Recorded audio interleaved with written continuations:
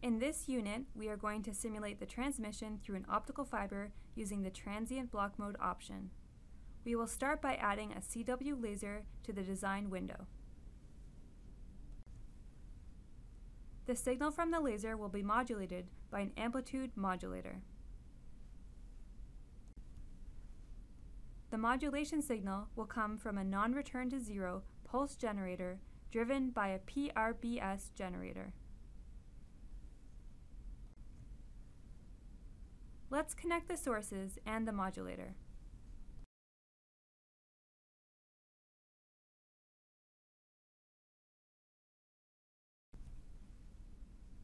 Next, we will place the optical fiber followed by a PIN photodiode and connect them.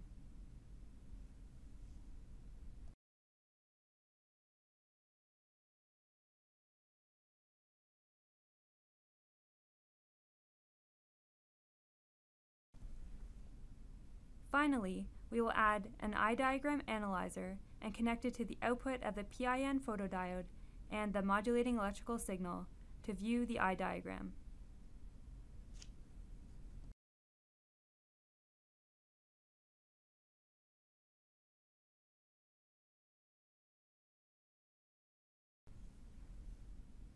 In the root element, we will set the output signal mode to block and then click Run to run the simulation in block mode. Once the simulation ends, we can select the eye diagram analyzer and go to the Result View window to visualize the eye diagram. We can see the nonlinear effects of the optical fiber model in the eye diagram.